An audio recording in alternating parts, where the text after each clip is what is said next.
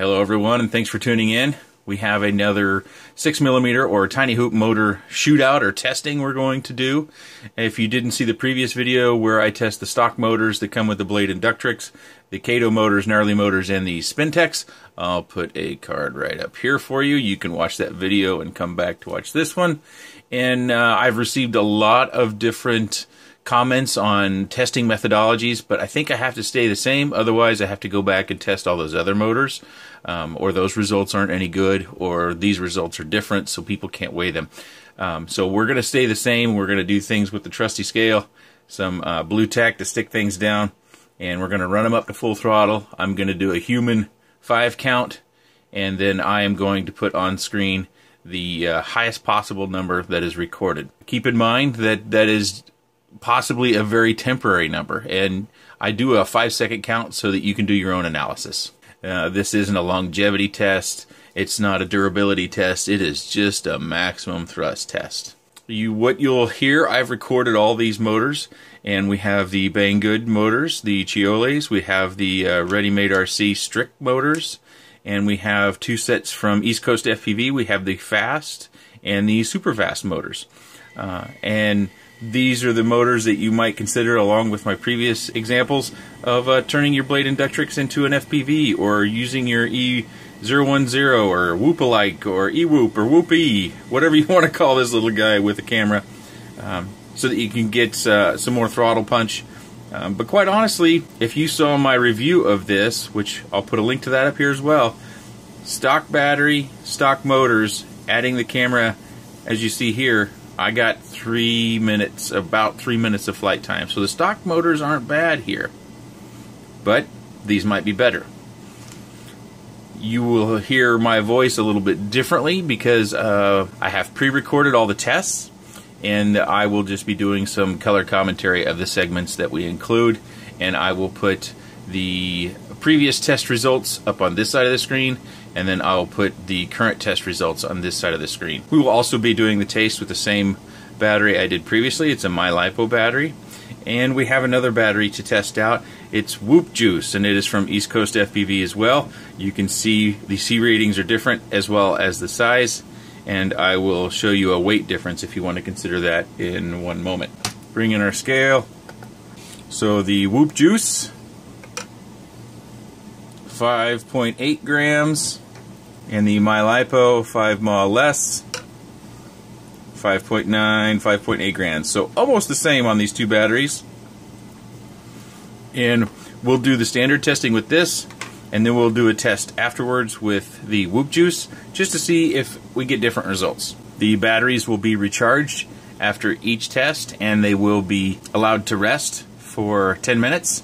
And the motors will be allowed to rest for 10 minutes. And after we've tested each battery, then I'll switch out motors and we'll test a new one. This is going to be our test bed. It's the same one that I used the last time. It's an unadulterated blade inductrix and you can see that I no longer have stock motors on this and I put uh, motors from the last test in here. These are the gnarly motors. Uh, one, one thing about these motor tests is I encourage you to try different motors. You're going, if you fly this a lot, the motors are going to wear down their performance and do some longevity tests of your own or just kind of keep in mind you know I went for 50 flights with this one and then I only got 45 out of this one. That's a historical test that is very tough in my opinion to do uh, for YouTube purposes. So we're going to do the maximum throttle test. Let's get started. Alright first up we have the Banggood Chaoli motors. Get them all set there on the scale and zero things out for us to get started here. First test of the day. Oh, did you see that? 30.6 and on the board. Next up is the Banggood Chaolis on the Whoop Juice. Squeeze her on down the scale. Bind it up. Throw the throttle. 30.2. Put it on the board. There we go.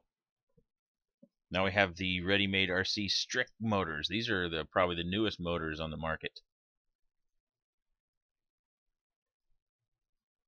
Ooh, 36.8. That is a high score. If you look at the left-hand side, that beats everything we've tested to date. Now we've got those ready-made Strix on the Whoop Juice, 34.9. Now we go to the East Coast FPV fast motors.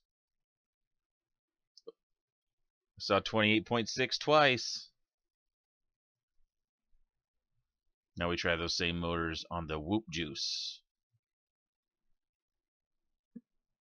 29 point.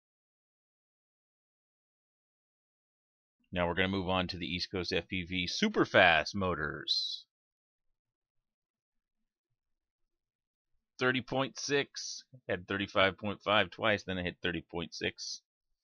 Now we have the same motors on the Whoop Juice. Hmm, only 28.3. That seems a bit off. There we have it. Uh, pretty good showing, really. You know, I was impressed with pretty much all these motors uh, and a little bit surprised myself. The Strix motors here came out on top if you're just looking for maximum punch, you know, a quick uh, hit on the uh, left stick if you're mode 2. I would do want to add one more thing about turning these Inductrix into tiny whoops. Uh, I see this quite a bit on Facebook where maybe somebody has got this cam, which is the EF01. Let me see. It's the one with the ears and has a metal case around it. I've got mine stripped down. Or they uh, have the MC02, which was just recently released, and then the original. Uh, I don't think you can see it. Oh, there we go, MC01. Those might be fine cameras, but they are heavy for what you're needing. And my go-to every time I get this question is the FX797 and the 797 because when you take this case off and you cut your lead short, you've got about four grams. Um, I have noticed, depending upon, uh, well, not where you get it, but there's a variable in manufacturing that sometimes the coax is a little longer, sometimes it's a bit shorter. Like if we compare this one, same camera, different lengths of coax. So there's a little bit of a variable on weight, and you'll also notice that I've got this lead pretty short here. And with 6 millimeter motors, we don't have an, a lot of extra thrust to give away, and uh, this is the camera of choice. There is another camera coming out, the Eachine TX02, and that one has a 25 milliwatt version and a 200 milliwatt version that they are saying weighs a little over 4.5 grams and they've actually looks like they've added a rubber sheathing to the coax and they've actually anodized the leaves as well and it's a four leaf uh, so until we get that one in hands and we see what that one actually weighs, if you're wanting to do a tiny whoop or really anything with six millimeter motors, this is the camera I recommend. If you're building a brushed mini, this is the camera I would recommend. If you have some specialized frame that requires this particular camera, you know you've got to go with it. If you're doing fixed wing or something else that maybe the 1100 series motors, these these MC01s and 02s and the the other cameras that they have out, the micro all-in-ones, they'll be fine. But for these brushed, you're probably best going with this camera. I got this one from GearBest, and I have recently found that the GearBest shipping is beating the, the Banggood shipping. In this particular case, I ordered this on the 5th of September, and it was in my mailbox on the 15th, so 10 days. And it wasn't shipped from the U.S. warehouse, it did come from Guangdong. Um, so you might have your own hesitancy for ordering from a particular vendor, but I thought that was something worth noting as my shipments have been coming in faster and faster. Things that I've been buying, they've been coming through quite quick, and I've been pretty happy about that. I don't have to pay any extra shipping. It's still free shipping. Normally, to get something in 10 days from Banggood, I have to pay the express shipping, which is, can range anywhere from 12 to I've paid as much as $17 to get something in 10 days. And I think the last two actually came in 12 days. So you might consider this camera and you might consider faster shipping from uh, GearBest. Any questions or comments, leave those in the section down below. And uh, I'm sure we're going to see more 6 millimeter brush motors because I don't think the popularity of these things are going away anytime soon. I, I, I think they're a lot of fun. I fly these whenever I can make it home for lunch. If the weather's not very good, I always grab one of these. I, I have this craving to fly just about every day, and these are a great way of getting a little bit of flight time even when the weather's not good. And the E010 is a cheaper alternative to that. Okay, thanks for watching, everybody.